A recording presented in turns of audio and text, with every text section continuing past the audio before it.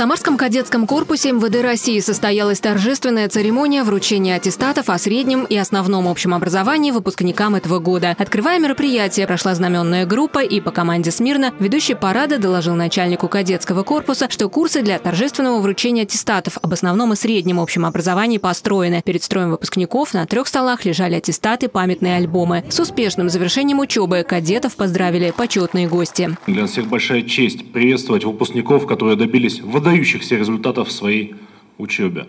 Это пятый выпуск, и по докладу начальника подразделения один из самых ярких и по количеству медалистов, превосходящий все предшествующие.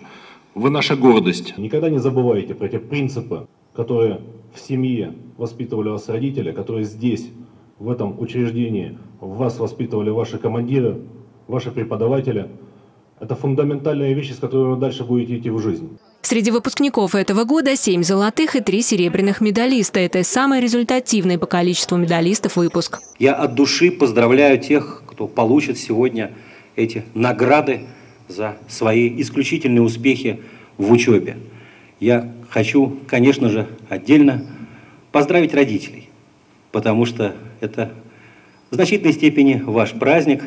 Вижу, у многих у вас слезы на глазах, но это, уверен, слезы радости.